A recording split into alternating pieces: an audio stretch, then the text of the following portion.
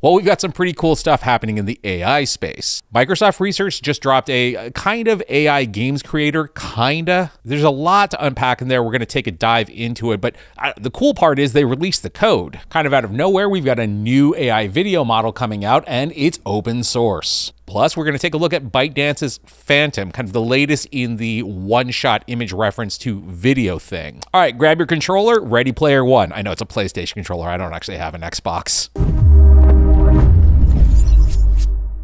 Kicking off, I have been following the growing intersection between AI and video games for a while now, and we've seen some pretty interesting technology coming out of it. Notably, there was the AI Doom game that was showcased a while back, and more recently, Google's DeepMind unveiled Genie 2. Now, to note, both of these projects, I really wouldn't necessarily classify them as games. They were more like AI video models that would respond to keyboard inputs for generation. So this is Muse. It is a generative AI model that is being controlled by a player. While this is somewhat similar to what we saw with Genie 2, there are some key differences here, namely in that Microsoft, well, leveled up. So, of course, I probably should point out that, yes, the example footage does look a little bit rough. Uh, I believe this is coming in at a raster size of around 300 by 180 and running at about 10 frames a second. So, yet yeah, not something that you will necessarily want to play on your expensive gaming monitor or on your like 65 inch TV. But again, this is a research project, and as we'll discuss in a little bit, not really meant to do the whole like prompt to game thing. So the underlying tech behind Muse is called WHAM, or World and Human Action Model. Uh, do you think they come up with the acronym before the name? I'm really starting to suspect they do. So WHAM was then taken over to the Xbox game studio Ninja Theory to train up their game, uh, Bleeding Edge. From there, a lot of footage was then captured of a, an actual human playing the game. That's actually what we're looking at here. Uh, this is apparently kind of one of the, like a four by four arena battle type game. Uh, I've never played it before. It does look fun. They then took all of that data, crunched it down via a GPU cluster, and then took that output and then ran that through a number of NVIDIA H100s. I do want to point out that the NVIDIA H100, which I, I believe is the Grace Hopper model, um, yeah, that, that, that was like $30,000. And they did say plural all of that led to 1 million training updates. Like any good training montage in an 80s action movie, uh, all of that did lead to them overcoming a lot of the issues that both the Doom model had and Genie 2 as well. Uh, notably, you know, recognizable characters throughout, basic movements and geometry, and no degradation over time. Persistence or persistency, which I know is a real word, it just sounds like something that Ron Burgundy would say, uh, that refers to introducing new elements into the model's generation and having it act accordingly. In this first example, we can see an added character put in, and then, you know, it, it, begins to fight the dude, as, as that character should. So all of this is really cool, but I mean, obviously that is not something that you're going to necessarily want to play. So, you know, what's the point of this? Well, according to Microsoft, this is a tool that lets game developers edit a game level using existing game concepts and, you know, test things out. So uh, basically place elements in and, you know, see if a character can make a jump or something along those lines. Yeah, so as a developer sketchpad, I mean, yeah, that does make sense. Although, I mean, is it currently practical given, you know, multiple H100s needed in order to capture footage and, you know, be able to generate a simulation? Probably not but that is at current scale. And as we all know, technology just gets faster and cheaper. So, where does the future of Muse lie? Well, Microsoft Gaming CEO Phil Spencer mused, yeah, you caught that, that it could be used for gaming preservation. Spencer said, You can imagine a world where, from gameplay, data, and video, that a model could learn old games and really make them portable to any platform. Furthering, these models could learn completely how a game plays without the necessity of the original engine running on original hardware, and that he thinks it opens up a ton of opportunity. So while we are a long way off from that, I think the important thing to take away from all of this is that, you know, Bethesda will be able to re-release Skyrim when we all have iPhone 32s. Breaking, just as I'm recording this, uh, Alibaba have announced a new video model that they are releasing, uh, and apparently it's going to be open source. Yeah, apparently this is WANX 2.1 or WANX. I- I'm not exactly sure. I'm going to go ahead and presume that it's WANX. We really only have uh, some demo footage that they released to go off of right now. This uh, sequence showing complex motion.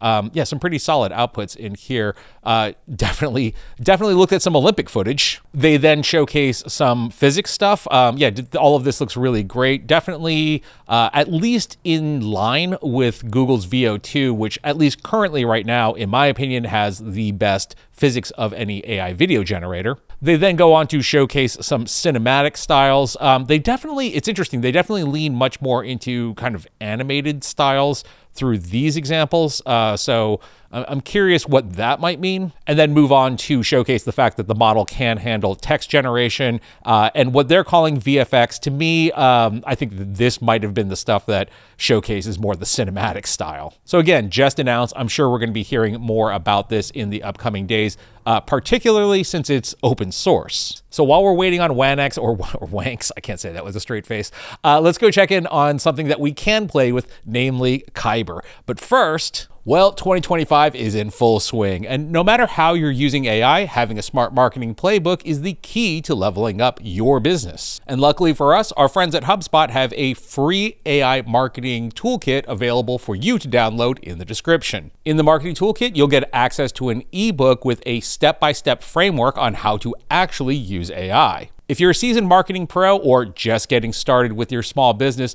the knowledge here really will set you apart from the pack. This document takes you through everything from defining your marketing objectives, building your AI marketing strategy, performance tracking for optimization, and so much more. And it even includes an additional stack of AI tools that you'll want to check out to go even further with AI. You even get a thousand plus pre-made AI prompts, so you know you don't have to start using AI from scratch. This is filled with highly crafted prompts covering everything from copywriting to pricing to distribution and a lot more. But my favorite thing in here is the section on how to create your marketing strategy in 12 steps. This lays out exactly when you should be defining your target audience and when you should be developing your unique brand proposition. As the old saying goes, you won't be replaced by AI, but you will be replaced by someone using AI. So make sure to get ahead of the wave and download the free resources below. My thanks to HubSpot for sponsoring today's video. So if you've been following the channel for a while, you'll know that I, have been a pretty big fan of Kyber. Now, they did take a pretty big swing recently,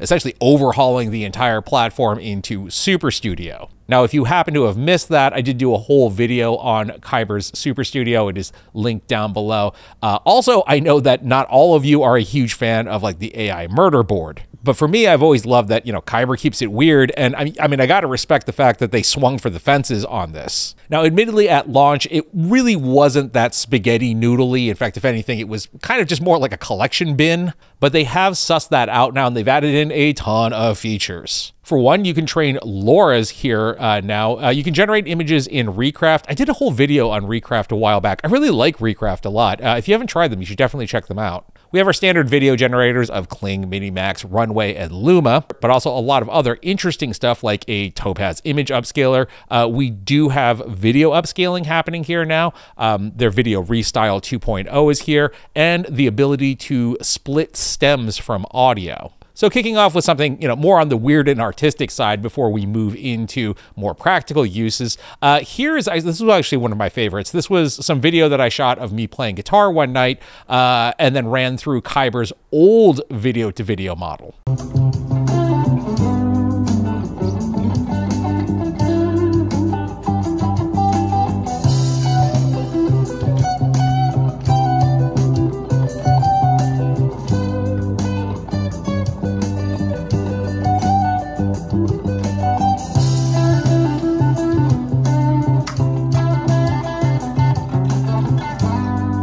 So giving that a video restyle with the new model and using this as an image reference, uh, we end up with this as an output, which look for sure is still weird, but I mean, it's also kind of cool. Uh, there's definitely some like morphing going on here, but I think that actually has more to do with the source video uh, than anything. I don't know. I kind of like it. Quick tour of some audio stuff. Uh, this is a Udio generation uh, that I did a while back. Let's take a quick listen.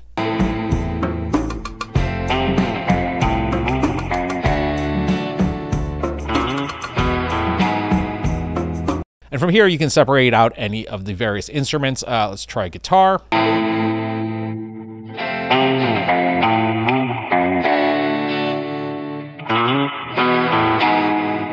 And now taking a quick look at the add audio to video feature. This was an output that I generated in Skyreels, what was I, like two days ago? Man, this week. Um, and then just gave it the prompt, man starts laughing. Let's take a look at what it, we got.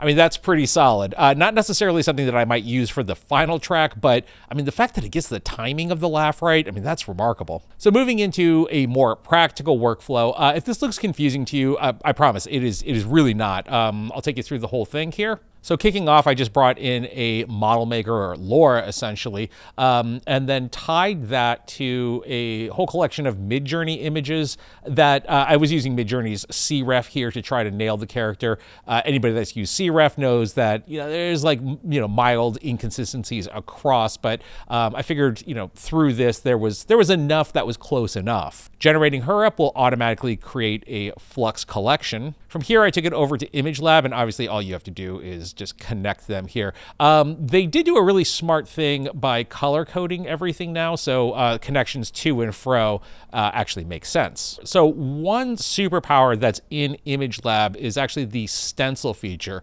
Uh, this was our uh, bootleg Lara Croft uh, generation that uh, we put together in the look at Krea's like 2D to 3D thing uh, kind of recently. So uh, just nabbing her and then again our trained Lara character. And depending on prompt and stylization, we ended up with outputs like this. Now, I will say in terms of consistency, it's pretty close, but definitely takes influence from, you know, our Lara Croft side of things. So if you're really aiming for consistency, um, you almost kind of have to reverse engineer from your stencil refs. I did like this output, so I just created a Minimax flow here, uh, connected them together, and gave it the prompt, girl turns to the camera as the camera orbits and used the Minimax 01 live model. I ended up running it three times before landing on this one. Um, was pretty happy there. Now, something kind of interesting happens here because I then create another node into uh, the Video Restylized 2.0. Surprisingly, we did end up getting our camera rotation in. You can, of course, take that output and start to get weird with it. I, I have no problems with that. Uh, in fact, I love this stuff. From there, we just took everything over to a video upscale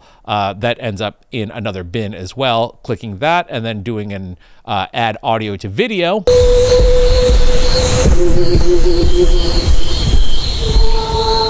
So zooming out now, it probably looks like it makes a lot more sense. Um, the plus side with like all of this is the fact that like this workflow just exists. So you can now change out your, uh, you know, stencil image still with the same character and continue to iterate, experiment, etc., etc. What I really like about this is that this is just one example. I mean, there's a ton of tools in here. Um, you can and probably should develop your own unique workflows. Now, I do know that Kyber is still cooking. Uh, going back to video games at the very beginning of this, this is not even my final form. I mean, that's not a spoiler or anything. I mean, anybody that's in the AI space is in the kitchen right now. Uh, but I will be keeping keeping an eye on Kyber, and I will definitely let you know when the next big update drops. Rounding out, ByteDance have showcased Phantom, uh, subject consistent video generation via cross modal alignment. That doesn't spell Phantom at all. Now, I'll say that, you know, when you initially look at this, it looks like the very typical, like, one shot photo to video generator that uh, we've definitely seen a lot of. But when you dig in a little bit, I think that that's where you start to see what ByteDance, who remember does own TikTok, is really up to. As on the page, there are episodes created from Phantom generated videos. Uh, let's take a look at well, Phantom of the Opera. So while I'm not necessarily blown away by the, you know, outputs here, I do find the idea of, you know, three to four uh, references within a scene uh, that is generated. That's that's pretty interesting. There's another one where they kind of do a riff on Annabelle, you know, the creepy doll movie, which furthers my thesis that no matter what culture you grew up in, creepy dolls are terrifying. And while I can't be certain, uh, I think by watching this, I kind of got where ByteDance might be going with this. Is that you know this is probably going to be meant uh, for TikTok shorts. I don't know why I said TikTok shorts. I mean, are there TikTok longs? Uh, anyhow, the idea of probably being that you could take a photo of yourself, some props, and you know pictures of your friends, uh, and then create a you know short TikTok film out of them. I can't say for certain, but you know, given a lot of the stuff that we have seen out of ByteDance recently, I mean, it, it kind of stands to reason that it's going to end up there. I'll keep an eye out on this, but you know, I'm not getting my hopes up too high. Again, it's ByteDance, so uh, like 50 50 chance. So that's it for today. I mean, there were like three videos this week, so I'm actually to go take a nap. In the meantime, I thank you for watching. My name is Tim.